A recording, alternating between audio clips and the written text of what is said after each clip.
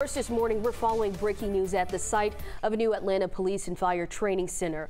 Police are watching the area closely right now after violence overnight. Video shows protesters throwing rocks, and it appears they set fire to construction equipment. Police have detained more than 30 protesters. Now, this is just the latest clash at the site protesters call Cop City. And in just the last couple of hours, we learned new details from Atlanta's police chief. Let's get straight to Molly Oak with an update.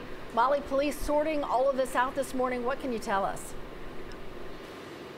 Well, Cheryl and Aisha, police say they detained 35 people last night after they say a group took advantage of a peaceful protest and started attacking cops and destroying construction equipment. Take a look at this video we got for you this morning. You can see police are still out here at the Public Safety Training Center site. And then in video from last night, there's a large group of people that goes into the construction site. Police say that group acted as peaceful protesters before changing into black clothes and throwing rocks, bricks, Molotov cocktails, and fireworks at officers. Police say the group also set fire to and vandalized multiple pieces of construction equipment.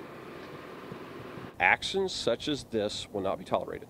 When you attack law enforcement officers, when you damage equipment, you are breaking the law. This wasn't about a public safety training center. This was about anarchy, and this was about the attempt to destabilize. This morning, the police chief tells us that we should expect to get more details on potential charges as well. Guys. All right, Molly, and we did reach out within the last hour to the mayor's office for comment on what happens next. We'll keep following the developments throughout the day. And hours from now, community faith leaders will be asking city leaders to stop construction of the training center. The event was planned before the overnight protests and violence. The faith leaders will also go to the Atlanta City Council meeting. We've been covering every development on the back and forth over the police training center. You'll find our in-depth coverage now on 11alive.com.